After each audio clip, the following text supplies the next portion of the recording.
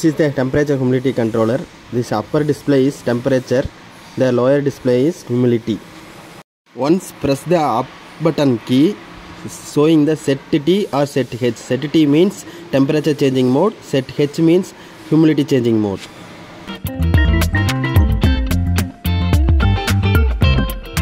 How to change the set temperature value or set humidity value? Uh, the up button one time press the set h. That time the hold the set button where values are increasing used for up button. The value are decreasing used for down button. Fine. Same process for the changing the set value for the temperature. The display set t that time set button is a hold.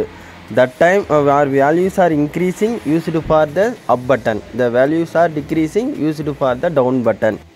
The finally release the button the temperature or humidity values are set automatically